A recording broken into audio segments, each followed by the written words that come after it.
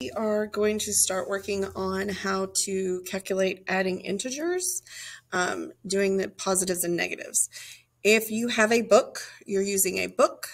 If you do not have a book, you are using a Google form or something of that sort to kind of follow along. But the numbers should represent the same. Um, so that is what I'm going to be holding you accountable for. All right, we're going to add integers with the same sign. That is what we're dealing with first. So in other words, if we have positives, when we add positives, when we have negatives, we add negatives. Um, and the first way to represent that is using our um, two color counters where the yellow is positive and the red is negative. So to model two color counters, three plus four, we have three yellows and four yellows. So how many counters are there in all? If you count, there are seven. So what is the sum and how do you find it? Well, if you do three counters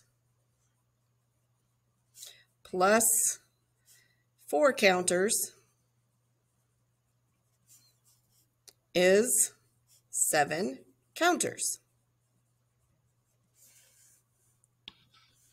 Making sure we can read it all.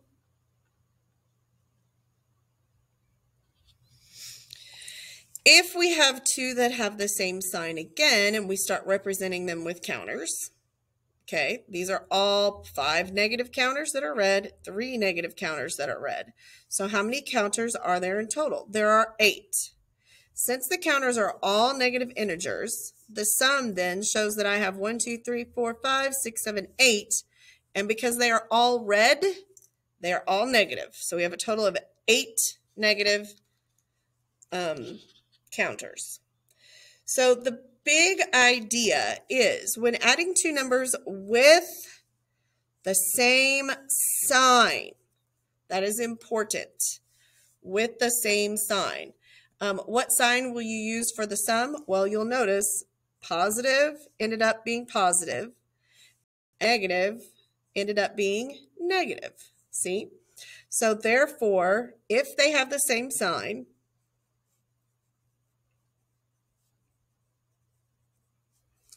it stays same sign.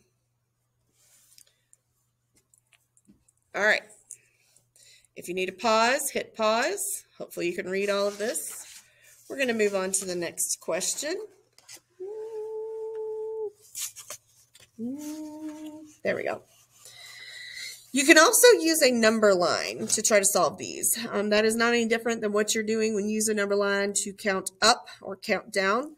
Um, let's, um, just like you add positive integers or add subtract positive integers, you can add negative integers.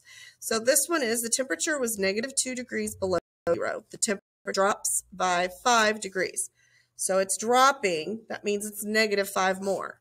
What is the temperature now? So A, what is the initial temperature written as an integer? It would be written as negative 2. Mark the initial temperature on the negative one. So I did that. A drop in temperature of 5 is like adding negative 5 to the temperature. Count on the number line to find the final temperature. Mark the temperature now on the number line. So it's going, because it's negative, going backwards. So one, two, three, four, five. That will make our answer be negative 7. The temperature is 7 below 0. All right, let's get this to see the rest of it.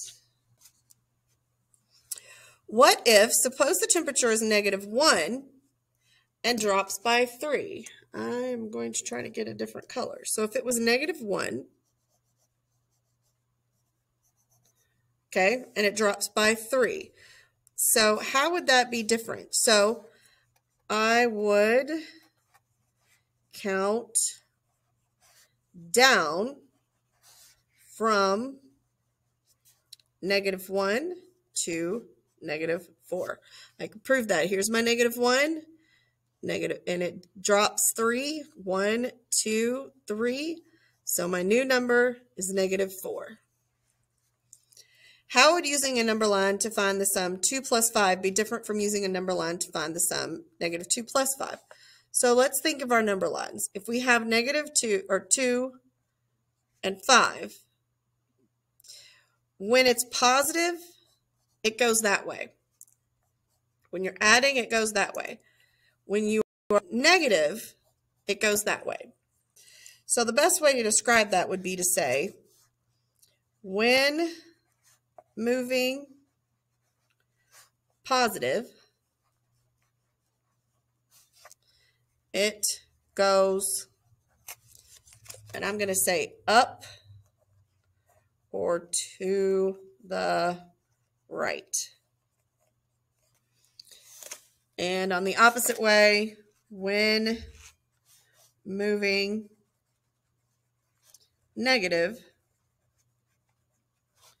it goes down or left. What are two other integers that have the same sum, negative 2 and negative 5? Well, that would be the same. I need to make some um, ways to make negative 7. So negative 1 plus negative 6 will make 7. Negative 3 plus negative 4 would make 7. Uh, 0 plus negative 7 would make negative 7. That's all it's wanting is some um, fact families.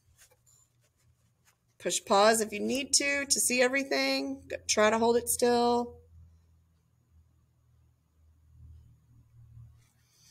Um, I think we're going to stop there for the moment and we're going to do some other practice activities.